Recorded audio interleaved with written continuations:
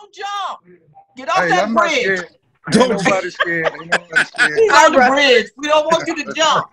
Barbara. Hey, But, okay, I'm sorry. but no, no, no. I am. Uh, I am one of the uh, one of the founders of the Soldier 23 Project, which is a program also under our nonprofit, which is uh, Together Community Service Initiatives. And we started this about five years ago. Uh, I did about 26 years in the Army, and I didn't realize how bad uh, the suicide rate was. So at the time that we started, uh, the suicide rate was we was losing about 23 military personnel a day uh, to suicide. Uh, so, uh, you know, I had been doing the uh, Army entertainment and traveling around the world, so I got to see uh, soldiers uh, come to that show, and they were able to use their traumas uh, to to channel their talents.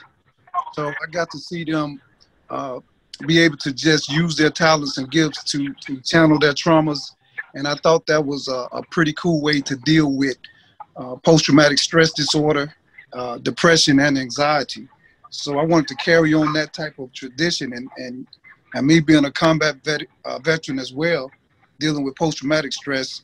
I'm an artist and writer as well, so uh, the creative arts are just a way uh, to release those. Uh, I like what the gentleman was saying earlier about if you got if you got trash in your bag and you keep it in there, one day it's gonna stink. So I just uh, I, I took uh, root to that and uh, and started the Soldier 23 project as an effort to reduce the numbers of veterans that we're losing in that community a year. Well, so so we do things like uh, partner the uh, veterans up with uh, other organizations like film companies and other artists uh, to, to help bring out their talents and gifts. So uh, we also we also do outreach like we have a food pantry. Uh, we also teach classes on infection control, first aid, CPR. Uh, so it's just a plethora of things that we offer to the community as well as uh, to the military community. So, so I've been spending all day today uh, giving out uh, giving out food and uh, bread and and also giving out masks. So I was giving out free masks to the community. So we do things to just empower, in, inform, empower, and motivate uh, veterans to go and deal with their issues and problems. So we encourage them to get with their psychologists, psychiatrists, and the healthcare community to address their their uh, you know, to address their problems. So that's pretty much what we do. Can I ask you something? Yes, ma'am. Okay, you said that you allow them to use their talents to deal with um, their their stress and um, everything that they're going through. Okay, it's one thing to be able to put on a show, and I don't mean you know show as in you know I can be one way in front of a bunch of people, but in the solitude of my own home, that's when I would revert to being, you know, stressed out or whatever. So how how do you teach people to make that transition? Because as comedians and Mo and um uh Big Mo and Sylvia can uh, attest to this, as well as Andrea because she's a performer as well. Um, we know how to make everybody else happy. We just can't make ourselves happy. You know, I mean, I can get on stage all day long and you won't think that there's anything wrong with me. But as soon as I get back to my hotel room or I get back home, then everything starts coming down on you. So how do you deal? Right. Well, well, th- this is this is how this works. Uh, it it doesn't matter if you are a performer or if you're just a, a, regular person. You you can always be dealing with the dark moments. But I can only speak on my transition. So as a as a combat veteran, dealing with the traumas of of uh, wars and nightmares and all of those, and I'm also a artist, and I have been uh, using that form of expression uh, for more than 30 something years now. So, so it worked for me. It helped me deal with uh, you know, I've been married for 30 years now. So raising kids and trying to uh, uh, be married or, or, or, or transition back into that family life, you know, it's, it's a balance. So I can only speak uh, from my experience and having those soldiers come from their from their units and take a break from being mobilized and deployed. They were able to take a break from that environment and come into the performing and entertainment arena where they where not only see them perform on stage, but we're on the road touring for eight to 10 months out of the year. So I was responsible for their whole entire wealth. So from their dental, health, medical, the whole nine. So I got to see them like you're talking about. Once they left the stage and everything is done, now it's time to go back to that room. Well, I was I was a counselor too, so they came and sat and we had those discussions. We had those talks. Uh, so what's important is to have peer support groups. So that's what we established uh, during that five-year tenure. Um, on stage is something like you said, very different than when the lights go off, the show is over, and now you got to go back and deal with your with your real self in the mirror and deal with demons. those demons. So yeah. so the important thing is I say you deal with it by understanding that you do have problems and issues, but you're not the only one that's dealing with it. So um, so if that answers your question, I said peer support groups and finding other uh, people that were, are going through the same thing. So uh, that military environment was one of the unique things that I've been a part of because we all were dealing with some of the same elements of trauma, whether it's anxiety, depression, or post-traumatic stress disorder. We, we dealt with it all. And it was it was 24-7. They didn't have their families around. They didn't have, you know, that that support. So we had to become that. Mm. So I don't know if that answers your question or not, but but you're absolutely right. When we step off that stage, sure, we can go out there and give one great show. But when that show is over, hey, all the people are gone. That thrill is gone. Mm. But but it's important to be like the gentleman was talking about earlier. Uh, and and and the yeah, whole point of this one discussion. Of issues with Lieutenant Webb. Uh, say again. Uh, the, the whole point of the discussion is talking about how how black people deal with these these traumas. Uh, and he brought up a real important thing is uh, I think black people have to see examples of something different that is right and healthy for them. Uh, and, and, and when we grow up in these environments, uh, I grew up in Mississippi, and uh, when we understand that we all are part of a rape culture, we were taught a rape culture, so everybody's a victim. Uh, so when you understand that, uh, I think you can you can break down those barriers and, and, move forward. And you, once you understand that you're not the only victim here, everybody is. Even the person that was doing doing you wrong back in the day, uh, you know, they they didn't know any better either. So you have to see example and be the example. So and that's what therapy does for you. So just keep encouraging people to to uh, peer support group go get help, talk to psychologists, psychiatrists. See, we didn't have that growing up. We just had like like uh, she was talking about. She she said something about uh, uh, we're gonna keep it hush hush. This is our business. Let's keep it in the family. Let's just walk around with the shame of having those sexual traumas and having those you know those ugly nasty things that come out. But generational look, curses. Yeah, but we came from a rape culture. We were taught that. So right. you have to understand that in order to not be so personal with it and put issues out on the table and say, this is something we're all going through. But this is what we need to do to move forward and, and, and put that uh, to the side. It's just like being a, what they call it, a, a functional depressant. That means you're depressed all the time, but you're able to go to work and take care of your basic needs, but you're still depressed. So we're, we're, we're, we're functional, but we still need to uh, address our health a little bit better. Well, yeah. well, and I, I, I, I agree with you. I think um, to answer your question further, and he's right. Um, and um, anything distract your mind, anything will distract your mind for depression if you allow it to. But what people, what our people do, two things we don't do. Right. we have disconnected ourselves from our seniors who has who has the knowledge and the understanding of long suffering. Like I said, that's why I mentioned slavery, for example. There was no way those people could get out of slavery and produce sane, so, uh, well, quote unquote, sane people if there wasn't something beneficial in their suffering.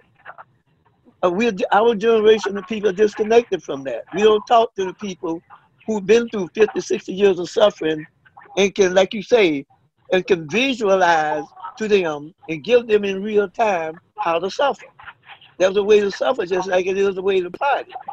But the way we deal with it is we go off to a corner, bury all our stuff. I'm talking about black men and a lot of black women. We go to church, and this is no throwdown on church. We go to church on Sunday morning to get the word from the preacher to satisfy our soul when that's our job. We don't do the work. So the, the, the whole purpose of oral tradition was to teach young people how to do the work, the work, to balance their intellect and their spirit. We, we, we focus on the intellectual part, that is what we learn to do, and we don't pay very much attention outside of religion to the spiritual aspect of our being. So when you go home and you're depressed and you're sitting there between your two ears dealing with depression and you do nothing, depression is going to put its power on you. But you have a power to do that. You have to be taught that. You have to be reintroduced to it. I put it that way. And most people, the first thing I tell them to do, the worst thing you can do when you get depressed is stay in the house. Why? Well, your grandma would have told you you need to get some sun because if you don't get the vitamins out of the sun, you're going to get depressed whether you have a problem or not.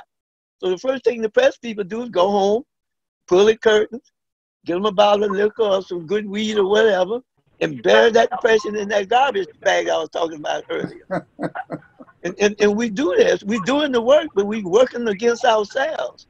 So we need to be reintroduced to those things that got our people through a horrendous, horrendous myopic experience and use those things to benefit ourselves, and we just don't know how to do it. So my suggestion is that we learn. I, I run a group. I do a group with a process, you know, and once I get it on video, I'll send it to you guys. Where I actually I quit doing therapy, and I started doing what I call educational therapy, education, therapeutic education. Teach people how to manage their brain when they are by themselves. And if people can be reintroduced to what's already in our DNA. We know how to suffer. We just turn it on ourselves and we call it depression. And then we get angry with it and then we call it anxiety. So, so I'm just saying there's some things we can do, but if we follow Eurocentric models and, and, and, and, look outside of ourselves for solutions that happen in our head, it's not going to happen.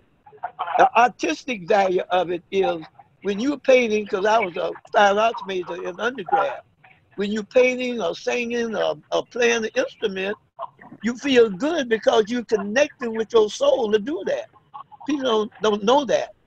That music is coming out of you, not that instrument. So naturally, when you put the instrument down and you think it's in the instrument, you walk in front of the instrument, it's, it's in you.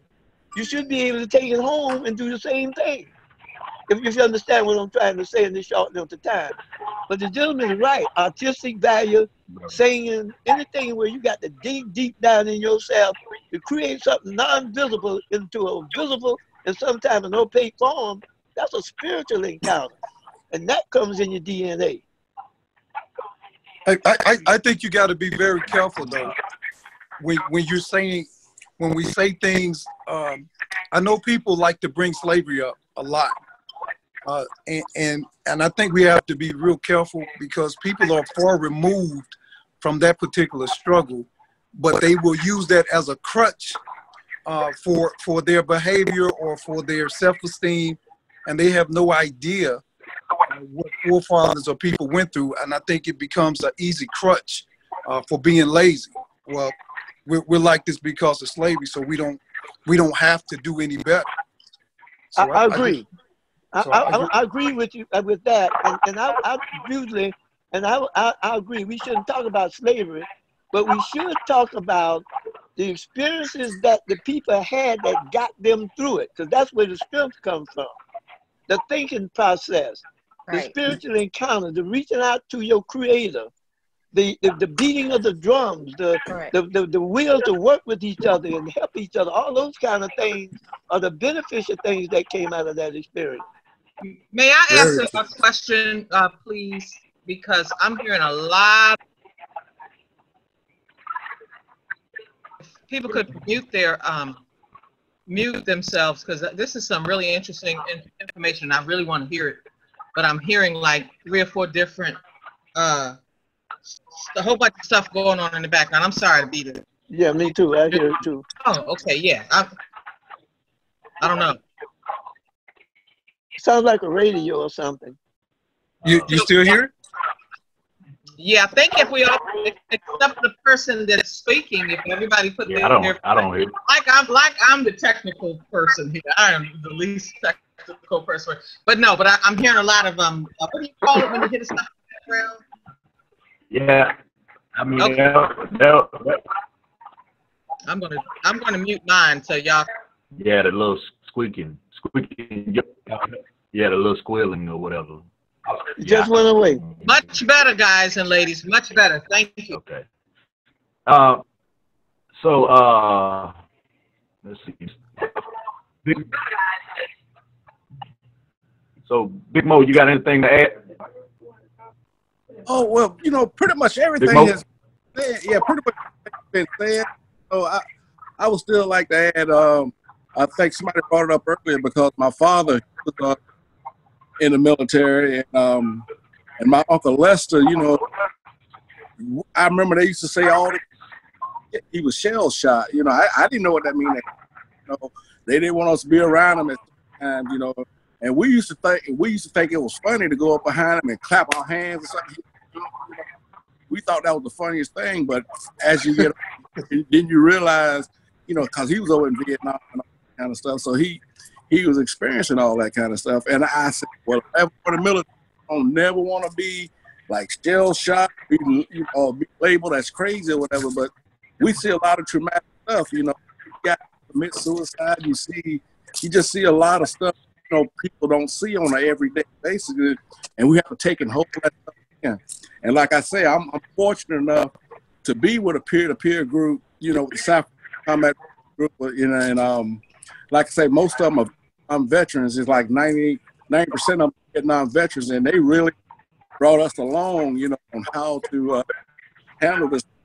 The stuff that I was, you know, the stuff that I was going through, I'm thinking, man, I can't tell stuff, man. And then when I actually went to one of those groups and listened to some of them other guys, man, my problem seemed very minimal. I said, man, I'm going through something, but that guy right there, going through some stuff, man.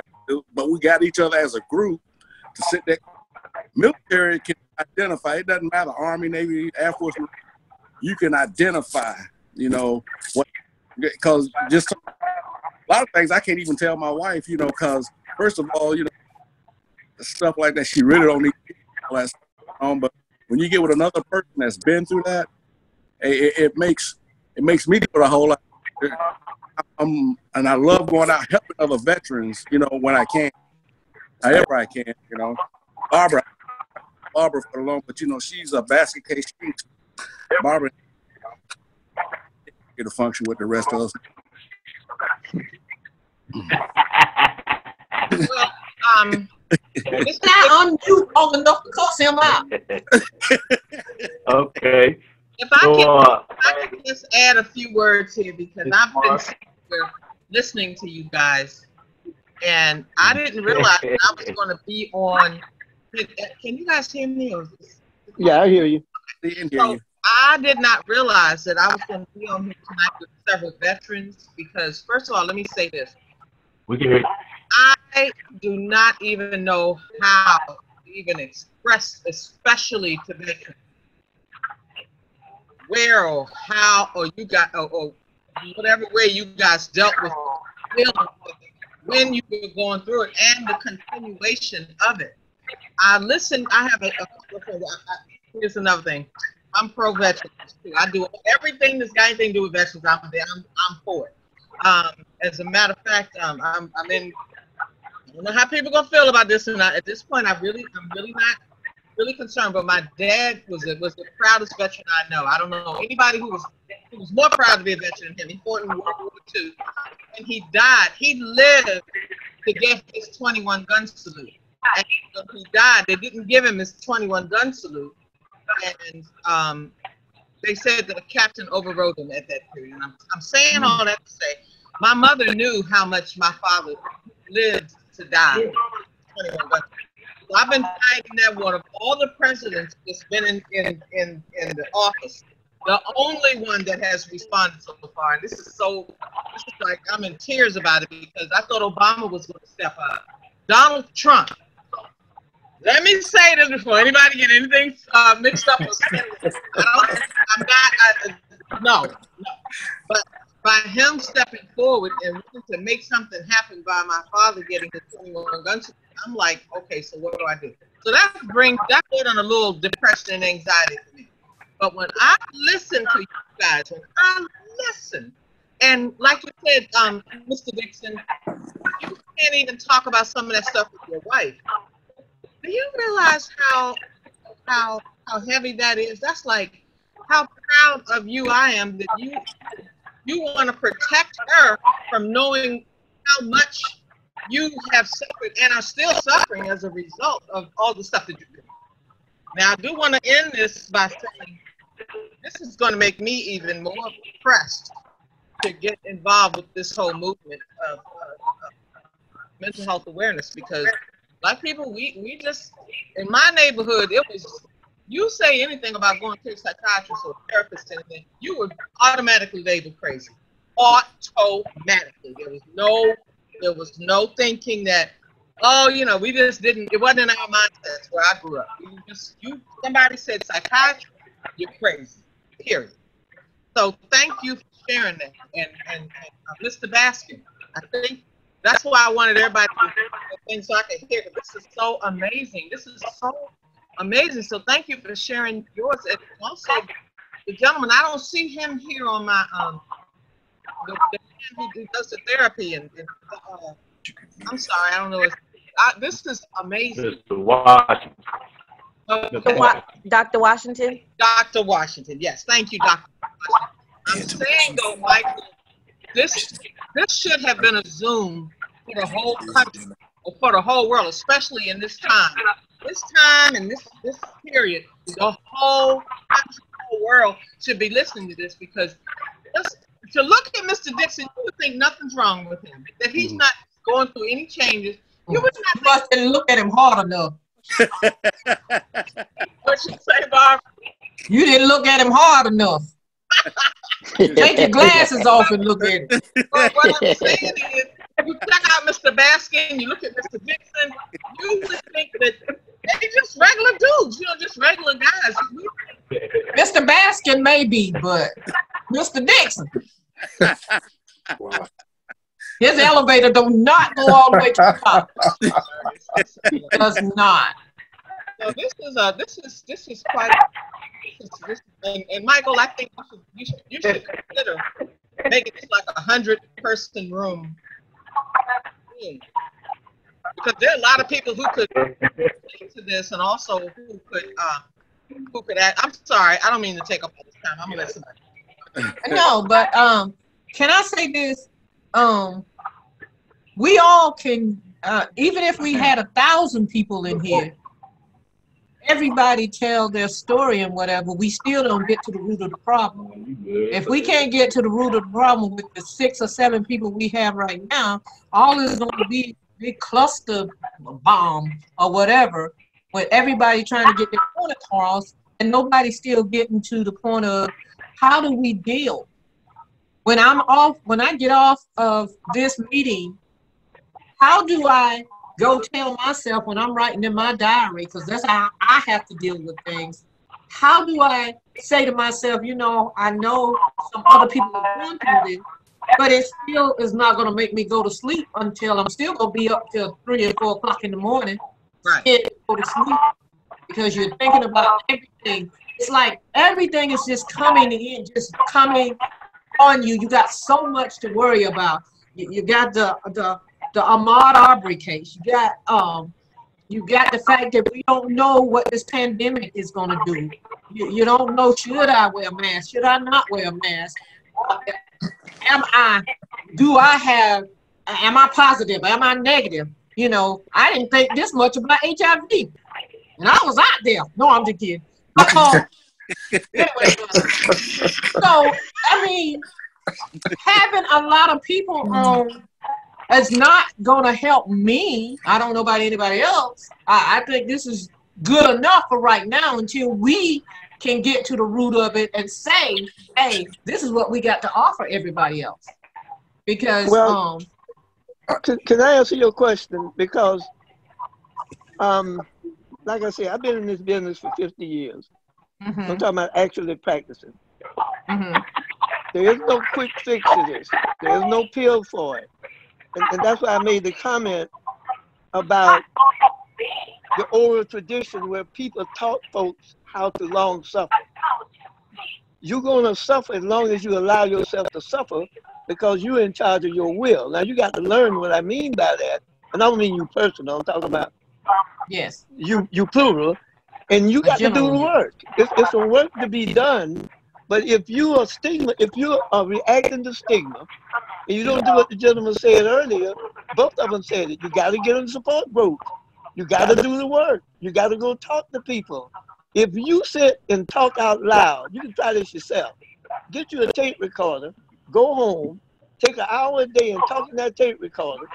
Just talk in it. Don't do anything for 30 days and go back and listen to it I can guarantee you by the end of that 30 days, you ain't gonna be depressed. We got to do the work. You got to get it out of you, and you got to hear how it sounds when it comes back at you, so your mind will correct itself. It'll correct itself with a whole lot of instructions. That's what I meant. One, of the, one of the things I was taught in undergrad is that a person got to go lay on the couch and tell you all of their long history for you to figure out who you are. And I took me 20 years to learn that's Eurocentric psychology. The knowledge for who you are are in you. You just got to go back up in there and find it. And the first thing you got to do is empty that garbage can. You got to get that stuff out. And then your mind will correct itself.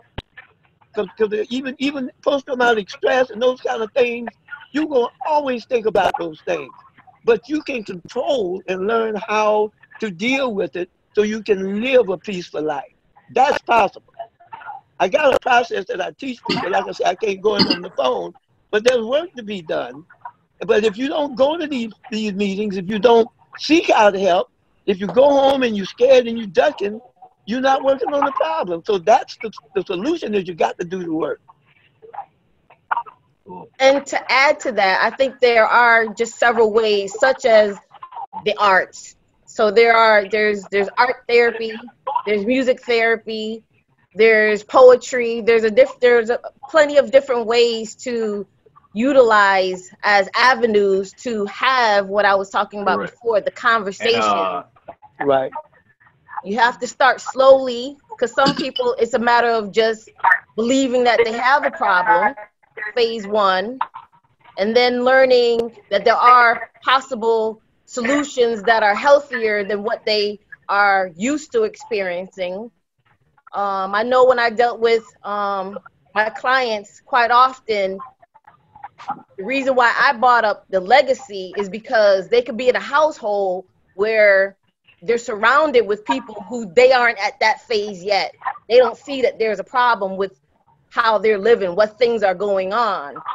And so you need to trump up different supports so that when you hear one thing in your head and you're thinking this way, well, it can't be that bad. Maybe I am supposed to get hit. Well, maybe I am supposed to always eat healthy. Maybe a whole bunch of things. You need someone to counterbalance that and say, well, what about this? This is an alternative.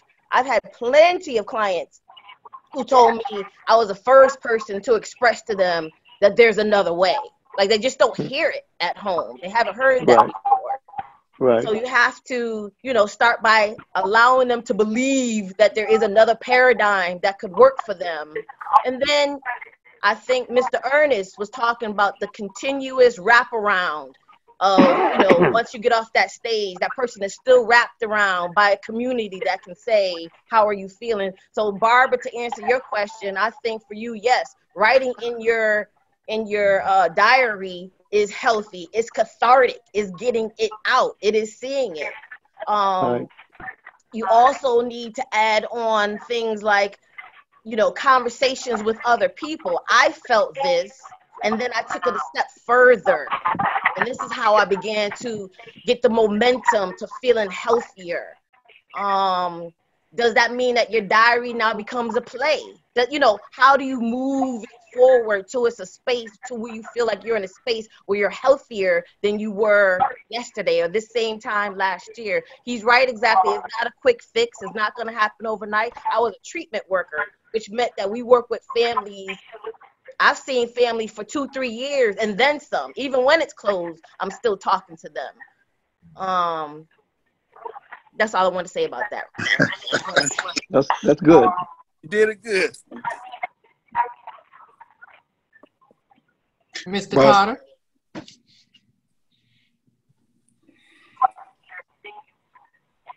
Mr. Carter.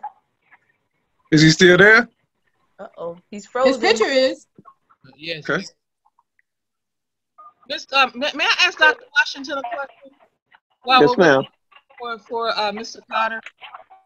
Um, when you say we've got to do the work, I was I had been distracted because I had a phone call I had to answer really quickly. When I came back, talking about mm-hmm. it, I was just hoping that you could elaborate a little more, um, so I could understand what you.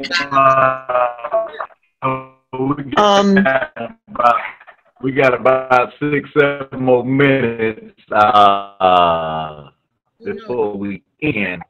And just to, just to caveat on, on a lot of things that was said, I think the biggest thing is the, the, the understanding of it. Uh, can you hear me? You sound garbled.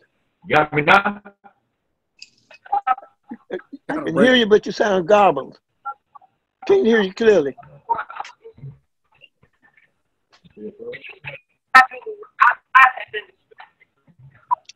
It's it's it sounded like yeah. Charlie yeah. Brown teacher. Wah wah wah wah wah wah. You, I'm going. I'm going to answer your question. You, yes, you want to know what I mean by do the work? Um. Yeah. Yeah. I had. I, I became distracted, so I didn't hear when you explained. I just wanted you to explain it again. Yes, sir. Well, I was saying yeah. that, and and and, and um, um, I forget her name, the, the, um, social worker. her last comment was true. It's not a quick fix. Coronavirus. It's it's not a quick fix, and to do the work. I don't think he can hear us either. I can hear you. All right. Oh, you can hear us? Okay. Okay. Okay. Um, if if for instance, every day you wake, do the work mean. Can you hear me now? Get, can you hear me? Can you hear me? Yeah, I hear you. Okay. I was answering her question. She asked a question, what does that mean by do the work? Ah. Yeah, and and what I meant was, um, and and I forget her name. She she, she put a thing on it at the end of her conversation Andrea. about Andrina. She she mentioned that you you you it's no quick fix. You have to work at it. You get ideas in your head all day long. So when those ideas come up, you got to find a, a, a, a path, or as he said, a, a, a, a process or method of how you're going to strike those thoughts and how you're going to deal with them. And what most people do, most people who get depressed, they just bask in depression. But now you got to come up with a counterweight you got to be able to talk to somebody or play some music or do something that is going to help you to deal with that. And as she said, find a better space for you to deal with it. And that calls for work. You got to think. You got to get in therapy. You got to pick up an instrument and learn to play it. Or you got to, as old folks say, go sit under a tree for an hour or two. Or go fishing. Or you got to find a space that will allow you to work on the issues that are upsetting you or keeping you out of balance. And that calls for work.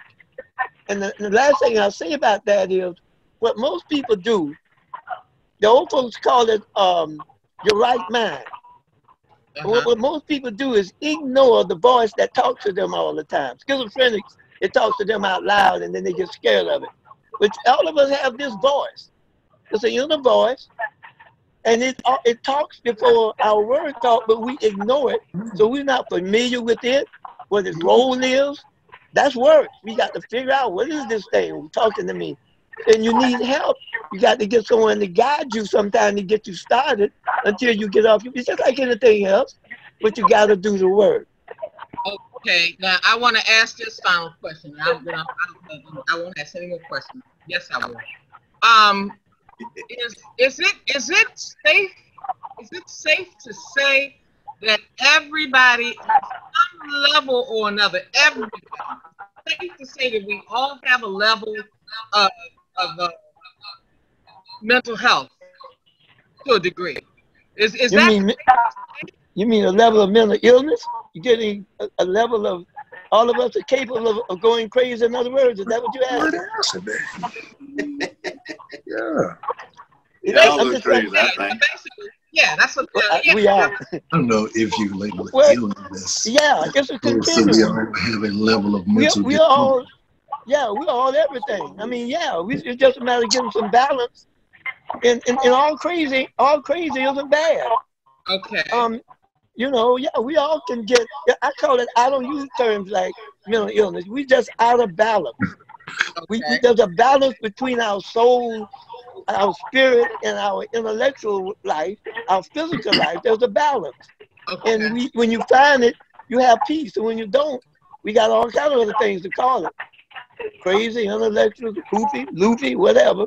But everybody is capable of, including me. I've been, I used to suffer from chronic depression until I did the work. I had to figure out what do I need to do to get out of this, who I need to help me. That's one reason why I switched my practice from Eurocentric to African Centered Psychology. I found my space, and then I went and did the work and learned what I needed to learn to do what I needed to do. Wow. And I would also like to add that it's perspective because I'm not entirely sure, but at some point there was, uh, I was enlightened by the thought that the Native Americans have a totally diff- different perspective regarding mental health. And when exactly. someone who we might consider um, having an imbalanced moment, they look at that as their soul being released right. or attempting right. to transition to another higher level and so it's not exactly looked upon as a negative as you know in the european models. Um, it's something that is more or less celebrated like this person is being honored with the ability to transition to another level. So it's perspective as well. Yeah yeah. Well like barbara i'm i'm trying to figure out what you know a position i could take in order to help get this this that right there that right those last three minutes that you guys gave me monumental. I'm trying to figure how we could, just like she said, like the seven of us, eight of us, however many of us it is, how would we be able to take the message out? I mean, what, what's, where do we go? How do we do that? So there are a lot of resources that are available, especially now, because when we talked about depression, anxiety, isolation, so a lot of things have come up in terms of texting, video chats, and then just your community around you. And it's very important to remember to stay in contact, human contact. We know there's a lot of data out there that demonstrates the importance of human contact. And that could be even just a phone call, a conversation with someone who, who you haven't spoken to in a long time. I know that I'm here by myself. My only companion is my pet. And I'm happy to report that there are a lot of um, pounds that are empty now because a lot of people feel that need for human contact or contact with another being, another spirit. Um, and so it's it's important to make sure that you have a phone call an expression of joy every day. I do meditation daily. I uh-huh. communicate with people. I choose and i say what who can i speak to today that i haven't spoken to in a long time? Now is the time. Looking at the bright side of things what can we do to maintain our our mental health? So there are things that you can do like i said finding a group, a text group, because there are lots of them. If you just Google, there's crisis hotline, suicide prevention, it, it's it's exploding. It's exploding this mental health um, field right right now as a result, specifically as a result of this pandemic. Um, so you can just reach out. I think what she really was trying to say was, is there a way that Mr. Carter can take the take this panel Okay. and have people pipe in and and ask specific questions or talk about their their the anxieties or the things they're going through. so Is there, there I've some kind of some way where we can make this public and people can, you know, call in or type in and say, hey, I like what you're saying. This is what's happening to me. There are groups the that have popped up that are like, um, how are you doing really? That was a group Mhm. that I recently discovered. So, you know, everyone asks the question, how are you? And most people just say fine. And so this group took it a step f- further and said, how are you doing really? And they want, they would, they would like for people to check in on another level with people. So that's something that could happen where you have a Monday night check-in. How was your weekend? You know, that's the question that you used to get every time you walk back into the office. What did you do over the weekend? Maybe it can be a a, a, a reboot of that question. How was your weekend? How are you doing? How did you How did you find the weekend? And, it, and and and this is uh this is not the uh, this will be aired uh actually May 24th, uh 25th, excuse me, May 25th. So everybody uh will get uh information about that. Also, uh, you know, a, a lot of times as we get ready to kind of dime this down, um, a lot of times what it is, I think a lot of the biggest thing is understanding that we have a problem. And that's one of the things I had to figure out. I had to understand that I did have a mental health problem. And I believe that's a lot of issues with a lot of other people because we don't know we have a problem until Right. either someone tells us or we do something crazy and people say, hey, man, something wrong with you. Your brain ain't right. You know what I'm saying? So I suffer Right. from PTSD, TBI, all that crazy depression, anxiety. then I have to figure out a coping mechanism in order for me to deal with this situation. Because when I'm out, like like how Miss Carlisle said, when she's out doing comedy, you know what I'm saying, it's easy for her to connect with the crowd because, you know, it's people in the seats. And then now you're on stage and you're talking to people and you're expressing yourself and you're doing this and that. But as soon as you go home and have to deal with the loneliness of the people gone, everybody gone, you feel like you ain't got nobody to talk to. So now what do I do? Do I go to sleep, which I can't do that? Do I pop these pills, which are making it worse? You know, uh, do I kill myself? Or, you know, there's, a, a plenty, plenty of things that we think about when we're by ourselves. You know what I'm saying? So I had to figure out a lot of coping mechanisms. And one big thing I do is I isolate myself from people. I like to travel. I have to travel. Me and uh, Ernest, I I go see him a lot because he's my battle buddy. And a lot of times you can't communicate with people that don't understand what you're going through. It's hard for us to do that because it's like you're talking to a brick wall because sometimes you want feedback. And then the feedback they give you feel like it's sympathy, like they got sympathy for what you've been through. So you sit there and you like, okay, why am I talking to this person? They don't understand me. They don't know what the hell I'm going through. So if I can communicate with someone that has been through what I've been through and they understand, that makes it easier for me. And that's just that, I mean, that's just how I cope with it because it makes it easier for me to be able to communicate with somebody that I know has been through the same struggles that I've been through. So it makes it better. And we can sit around and we can talk all day and all night till probably three, four, five o'clock in the morning. And like Ernest will wake me up at like seven o'clock and I'm still tired. But we wake up and we start it over again because we feed off each other's energy. And the energy makes it even better because that communication is great. But when the communication is gone, what do we do next? You know what I'm saying? And then I, I, I know with a lot of men, it's an ego thing, you know what I'm saying, outside of the civilian world, because we ain't gonna too much get up here and sit around and, and, and tell people that there's something wrong with us. You know what I'm saying? We're not gonna do it. Plus, we don't understand what the hell is going on. So if we don't understand it, we'll never know. So uh, I had to figure that out.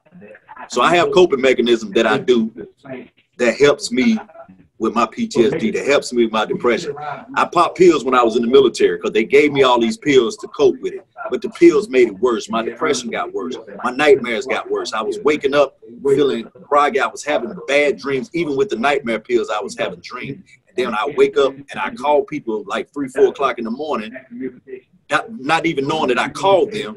And then the next day they tell me, hey man, you know what you were saying? Like they, they like blowing my phone up because I think I was talking some suicidal mess. Right. So the pills didn't even make it better. So I had to break Right. away from those pills and figure it out on my own.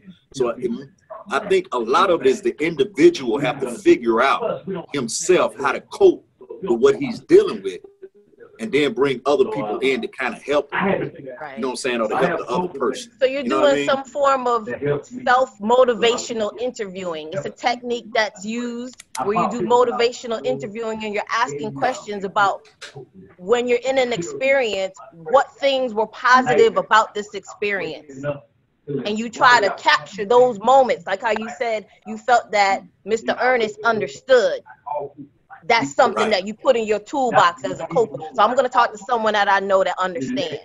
Then the next thing, well, I understand that when we were talking, he listened. And so mm-hmm. you put that in your toolbox. I need someone that understands and I need someone that's gonna listen. And so you start building your toolbox little by little to figure out you're on the right track. You're learning how to cope. And sooner or later, you know, like if I'm feeling triggered by whatever it is that are your triggers, what do I have in my toolbox at this time that I could pull out and start to bring my anxiety, depression level, my isolation that I'm feeling like I want to crawl into? How can I reduce those things with the items that I have in my toolbox? But it, again, it involves work. Indeed. Right. Indeed. Got to do the work. That was good. I like that. I'm gonna have to get I that. told too. her that. I, she, that was awesome. see- It gonna put a came out of me and went into her. You know, that was really my words. You know. Hey, I'm gonna Let come me- let me ask this. tool.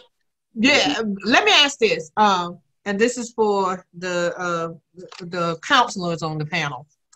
What if you have like family members that keep pushing the button for you? You know, like say you there was a time when you might have had some things where you had to go get some kind of counseling or whatever, and just to get on your nerves, they bring it up all the time. Like Uh, let- say Can I react to that? they know that you went and saw a psychiatrist or something. And so when they just want to get on your nerve, they'll say, Well, don't talk to her, you know she's crazy. So how do you how do you deal with that when you know I yes I'm a comic, but a lot of stuff ain't funny like the fact that I did have to go to a psychiatrist Well, or whatever. You know. Let me try to respond to that. Um, I'm not a religious person, but I'm going to use, a religious example to get the point across that I'm trying to get on them, based on what you just said. The only power people have over you is what you decide to give them. And I, the, the Bible um, um, um, um, representation I'm going to use, the part where it says God gave man the will and even God can't control that. So what I'm getting at is the only way somebody can, in, re, in real, in reality, get on your nerves is for you to give them that power to allow them to do that. Now you got to learn. There's a learn, there's some work to be done to understand the ramifications of what I just said. But just like um, Mr. Carter said, once you understand that, then you don't have to get upset about anything anybody does, because you don't want to have control over that. So people Yeah, who allow that to to happen, to that point. Well, you got to do the work. That's what I'm saying. You got to learn. I, just use that as an example, but you got to work. To, once you recognize that and learn it and rewire your brain to understand it, then you will adjust. You will adjust to it. But the trick is learning that. Because they, they don't have to get on your nerves. You gave your power away. When you allow somebody, you get upset because of what somebody else did. That's because you have given your power to them. You ascribe them the power in you to turn your nerves on yourself. Well, how do you deal with what? What do you call it then when it's the embarrassment of people knowing, and and that's why that's exactly why when we come back to the root problem that people don't want to go and and see about their problem because there are going to be people who are going to pick it up. there are going to be people who always bring it up. But, yeah, but, but, but, so it's not but, a matter of giving away your power. It's a matter of, you know. But but you but you said something earlier. You're, you're not you're not mad at that that person. He's talking about you giving your power away, but you you have to identify what the problem is. You you're you're feeling emotional because of the way you see yourself in relations to what they're doing right. or saying. Mm-hmm. Right. So, but but if you get a handle on what the problem is, it does not matter because you right. have conquered you have conquered the problem. So it comes so, back to so the it, same circle though. The embarrassment right. of having but, but, but, but you crazy. why you embarrassed. Show them your crazy. no, I'm, you're embarrassed to go from the beginning. That's why a lot of people don't go. But it's a reason you're right. for that. It's a reason for that. That embarrassment. Yeah, yeah. Just like we were talking about, people don't talk about molestation and all those things. It's a reason why you were taught that, and you mm-hmm. done picked up like she, you put a lot of bad, uh, a bad bad tools in your coping box. So so in order to get outside that, and everybody's not qualified to give you guidance. That's right. that's one thing. But right. but but you need to start understanding that it's not those people. It's how it's how you see yourself in relations to what they're doing. So it comes back to you. It comes back to you accepting and owning whatever your issue is. Like Carter was just saying, he had to say, I have this this problem. It's like when they say, don't just say this problem, what problem? What is it? Like once you figure out what makes you feel embarrassed anytime somebody say it, you, you just have to conquer those things. And, and you gotta and you got to do the and you got to do the work like he's saying like like in the in the in, in all of the, the the psychiatrists and psychologists and all the classes that I've, that I've gone through it comes down to the person uh, doing the work and, mm. and and and it's not it's, it's not going to come by anybody else doing it for you. you so talk all day we internalize a lot of things. things. Is Dr. Washington speaking? No, that he was speaking. Go ahead. Okay, so we internalize a lot of things and we start to believe it. So the mm-hmm. shame, the guilt, the embarrassment, all those things are what we start to carry around. We're carrying that around from the people who gave it to us. We take it, we accept it, but we could also take it and change it with our perspective. Yes, I may feel a certain way. However, I know that I'm doing the work. So you can finish that sentence I may have gone to therapy. However, it's leading me to a healthier life. Yeah. You can change the narrative in wow. your head and that would also start to change the perspective of things how, the lens in which you look through you look through yeah it's like challenging somebody on their belief system people have belief systems that's not grounded in anything except for what somebody said so they don't have any grounds for what they believe so once you challenge them they start feeling some kind of way. But why do you believe that? Right. Wow, so y'all on a mission. Y'all working tonight. Yes, y'all are working and, and I would say this, and I would say this too. If it helps you, because you the one got to deal with it, I give a damn what anybody say. I got to help me. I got to fix me because I get sick and tired of feeling this way. You know what I'm saying? So damn what they say. They can call me crazy all day. Have my family and friends know I'm crazy any damn way. So what they say to me don't bother me. You can block that because I can't let nobody steal my joy. I have to fix this situation because one, I can't let it ruin my life. I can't let it ruin my relationships. I can't let it ruin my sleep. I can't let it ruin me being depressed. I can't let it ruin me being having anxiety. So damn what give them that finger and tell them they can do something with it and then keep it pushing because I got to fix it. So this where it starts right here. I'm the one going through it. I, will say this. I'll say this again because this is the hardest lesson, and I like what you said, Mr. Carter. Because once you understand something, it's a game. It's a game changer. And one of the things that black people have a problem understanding, and we learned this from the Europeans, if somebody made me feel something, and that's not real. That does not happen. But if you believe it, you will think it's real, but it's not real. And once you understand that anything outside of you that somebody brings to you has nothing to do with you except for how you feel about it. And that's a choice. That's your will. But that's the hardest thing to get people to accept the responsibility and the ownership of their own will to make their own choices about things that's happened in their lives. Amen. Mm-hmm. Amen. What you think about me is none of my business. There you go. or, what, or, what somebody else has to say about you ain't none of your business. right. Right. That's, right. that's so deep. That's just so deep. Oh my God. Y'all are Oh my God. This, yeah. So, so, so, do anybody have any last minute words before we uh drop off and and bid everybody adieu? Well, I think that what somebody has to say about you is your business if they write it on the bathroom wall. So you got to look at it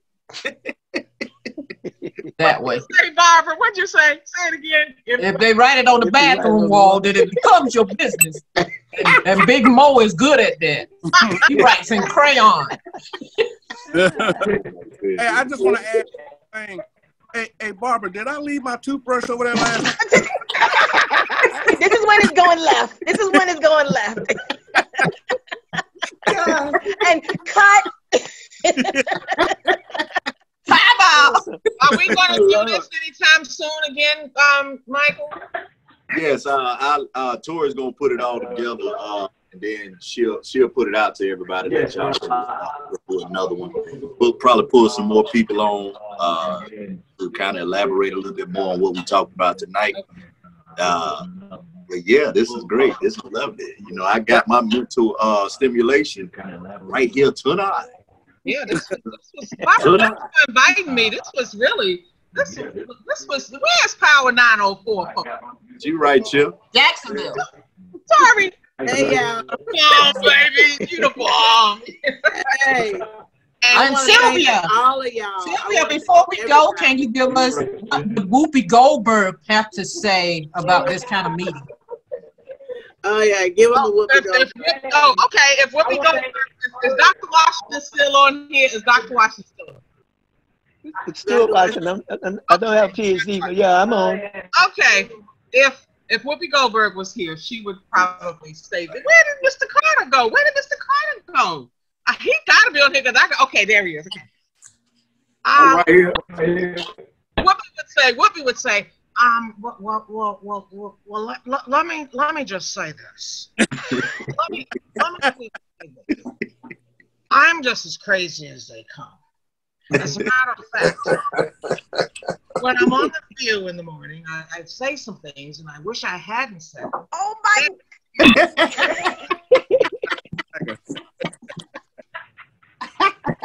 That's really good. And I, yeah. I, resort, I, I, resort, to my good friend, yeah. who's also a talk show host. I go to Wendy Williams. Wendy, come here. Come here for a second.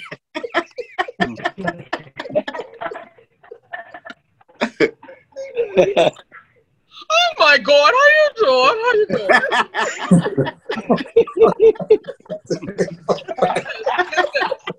okay, okay, get this. You guys know that Kevin oh, and had it not been for Dr. Washington and some oh, of and, and, some of what he told me, I don't know where I'd be.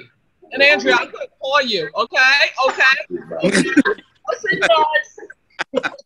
oh my gosh.